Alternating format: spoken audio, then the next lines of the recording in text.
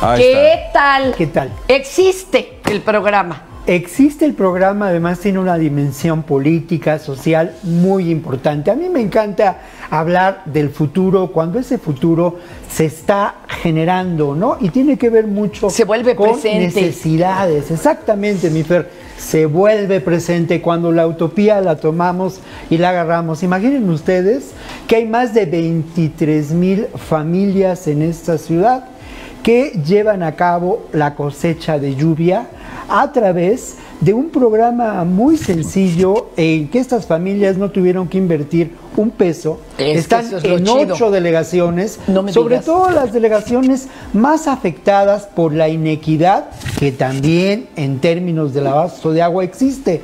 No es lo mismo el abasto de agua para Miguel Hidalgo y Polanco, Claro. no es lo mismo que para Ixtapalapa y las zonas de pauperadas, ¿no? Entonces, bueno, Oiga, precisamente... nomás hay que decirles sí, sí, por qué sí. al público rapidito. No crean que hay alguien que le cierra la llave a los de Iztapalapa, No, no. no, no. Es que el problema es que el agua llega por allá, por Polanco y por las lomas, Claro. y va, va, va escurriendo hasta la zona de Iztapalapa. Y con el 50% de fugas que hay en el subsuelo de la Ciudad de México, pues estos no Claro. les llega ni un chisguete. una combinación de factores. pero Terrible, mira, Este programa es un programa eh, de verdad enormemente generoso y que tiene en este momento la necesidad de que todos le entremos. Imaginen ustedes que en la Ciudad de México eh, la productividad de este recurso que es la lluvia es enorme y lamentablemente en la mayoría de los casos este recurso se va a la coladera, Sí. al terrible drenaje profundo. Cuando Se puede, pues, cuando se puede, porque siempre está tapado Claro. y entonces se ¿Qué, vienen qué otros relajos. pasaría si en las eh, estas ocho alcaldías funciona? Es muy Sí. sencillo. Hace rato Fernando El Charro preguntaba sobre cómo hacerlo. Es, es muy fácil. ¿eh? En la página del SEDEMA hay una guía, un manual para que podamos implementar estos eh, sistemas de captación de agua. Hay un directorio de las empresas que desarrollan esta captación del agua y hay además lo que podríamos considerar un directorio de las colonias y delegaciones donde eh, son eh, este proyecto es absolutamente gratis. En otras está el 50%. Estamos a tiempo de desarrollarlo. Es, un, eh, es una tecnología, una eco- eco- ecotecnología muy sencilla, pero moderna, que nos permite generar este abasto de agua. Mira, esto es muy importante porque tiene que ver con la gestión ciudadana del agua. Esto, Eso esta está es una chido. gran noticia. ¿Cómo lo ¿no? traducimos eso así en palabras este, fáciles? Pues que que el agua es de hagamos la chamba a los Sí. ciudadanos, Sí. que Ahí nos está. involucremos, que trabajemos de la mano con un gobierno que puede ser progresista o no, pero que exijamos nuestros derechos a través de la SED. Es el derecho al De- agua. Es el derecho, y es un derecho fundamental. Claro. Sí, sí. Otro elemento que vale la pena señalar es que, mira, el 80% del abasto de agua, según datos oficiales, que yo confío en ellos, para estas eh, ocho ah, alcaldías y un número importante de colonias, es del 80% de sus necesidades a partir de la implementación de esta tecnología. Oye, está pero es bien. impresionante.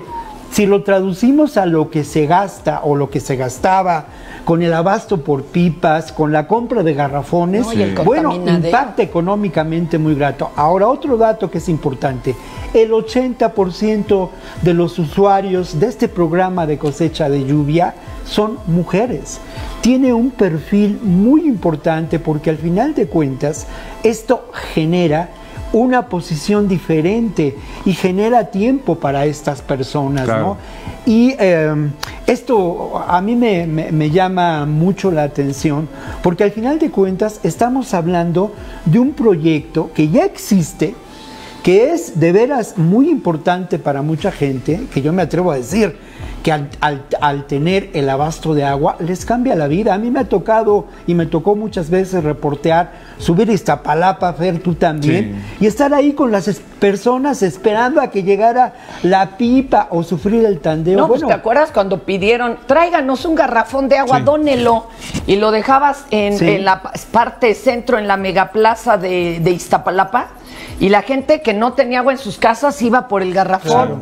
¿Qué es Claro, eso? ahora vamos a entrar. No había de otra. Vamos a generar con esta gestión y esta acción ciudadana, con ese hacer nuestro, que esto sea una campaña de la que nos apropiemos los ciudadanos y que generemos la posibilidad de la cosecha de, de lluvia en la Ciudad de México, que además terminaría con estos problemas de desabasto, ahorraría energía para bombear la energía que se tiene que, el agua que se tiene Claro. que O bombear. sea, el calentamiento global le bajaríamos. Claro, Eh, ¿no? o, o transportarla en pipa, Claro, que también y contamina. obviamente sería una transformación muy importante. Ahora, esto ya existe. Por eso- La meta es inmediata, 100 mil personas para que la cosecha de lluvia se continúe, 100 mil familias en más delegaciones. Es muy sencillo.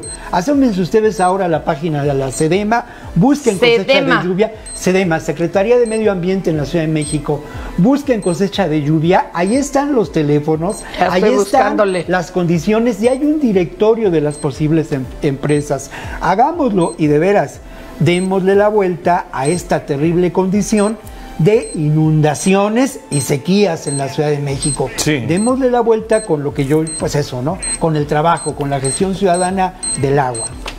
Muy bien, muy bien. Hasta, hasta el bombazo cerró. Así, Sí, mira. Con bombazo Char, firmaste tú. Tu, tu correo, compañero. Sí, un Bombazo de- pero de agua. Arroba yahoo.com.mx. Qué bonito. No, hombre, gracias. Luego nos trae alguien que nos enseñe Sí, mira, hasta de a poquito. Vamos a traer y Todos vamos a podemos generar captar aquí, en casa. A ¿eh? captar agua, a captar agua. Gracias. demos la tarea, chicos. Gracias.